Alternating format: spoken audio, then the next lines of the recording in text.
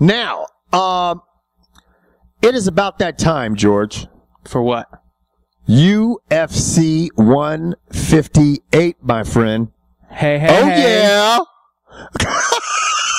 oh yeah, and you know where we're going to start at? Know where we're going to kick this shit off? Canada.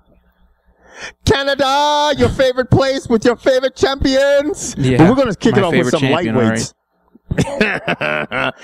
lightweights, guys. Uh, Mike Ricci versus Colin Fletcher. Okay, and these guys are going to be meeting. Um, First of all, I got to say, Canadian, or for all you Canadian fans, everything, your boy Mike Ricci probably wants to look to get consistent because, uh, he is, he's lost what, three of his last five?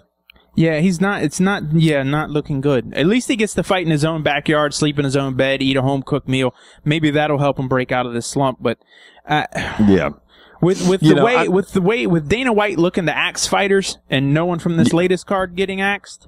Yeah, Mm-hmm. I'm seeing some names on here, and that's the unfortunate thing. Now I'm looking at these UFC cards, saying like, if you don't perform, you're getting cut. If you don't perform, you're getting cut. Like that's unfortunate, but that's the way I'm looking at things.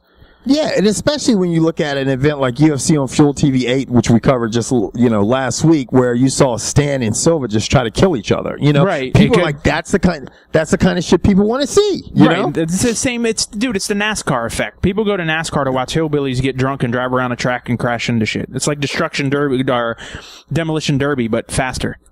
Right. Now, if you guys recall, Ricci was defeated by Colton Smith via unanimous decision on, uh, back in December, uh, for Ultimate Fighter, uh, Team Carmen, Carwin versus, uh, Team Nelson finale. And, uh, he's got some knockout power. The kid showed it in that, in that, in that, uh, in TUF 16, um, because Can he I actually address something real quick? Yes. For all you people who are going to sit here and look at this video and watch our predictions and then tell us in a week or two that all of our predictions suck, do you understand that fighting is a 50-50 shot? I don't give a It's a shit how good you are or how good your opponent is. When you walk in, you have a 50% chance of winning. It is. And, you know, and, and if, you know, you guys got to remember too, if George and I knew the fucking outcome, We wouldn't be sitting here doing this shit. no, we would be up in Vegas living. Yeah, so we just fucking you know? relax with. You don't know what you're talking about because you picked the wrong You guys, all your fucking answers are fucking wrong. Suck a dick. But anyway, uh, anyway, if you guys getting back to the fight, Who are you taking to win the fight? More importantly, I'm going to go with Fletcher. I think I think Ricci snaps out of this uh this this little skid he's on, and I think he's Uh-huh. about to pick up his. I think he's about to pick up a win and knock Fletcher out.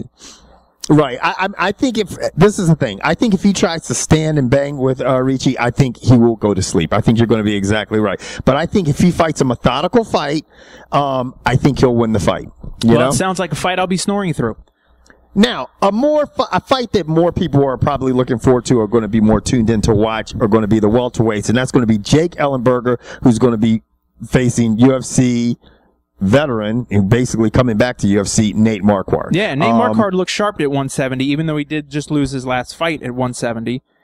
Right. You know, and it, it, it, you know, it was. He, he did good. He won the Strikeforce belt and then he lost it to, uh, who was it? Uh, I want uh, Tarec Saffiedine. Yeah, Tarec Saffiedine. Saffiedine. And, uh, but, uh, this is an interesting matchup, um, because both of these guys have been a little bit hit or miss lately. You know what I mean? And, uh, Vegas has Ellenberger as the favorite. And, And, and you know what? I'm always Uh-huh. betting on black, so I'm betting on Ellenberger.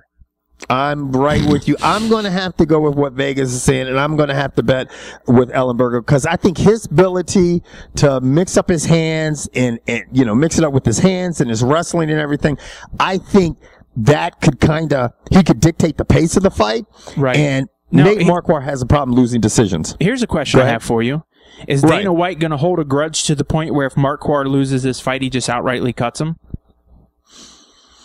Um, I mean, he could. You know, I mean, I think at Dana White at this point in time, he's looking at okay, I've got to have the most exciting crop of fighters. Yeah, I can tell you right now, if if Mark if Marquardt does not show up and put on a show, yeah, bye bye.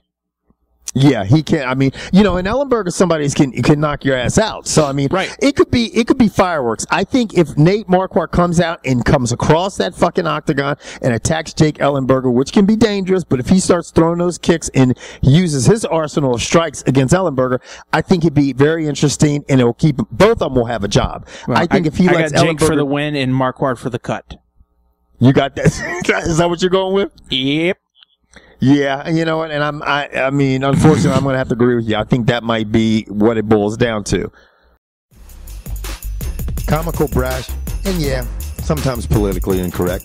The Uncut Sports Show. Non traditional sports coverage delivered the way you like it by your uncensored co hosts, Kevin White and George Bedford.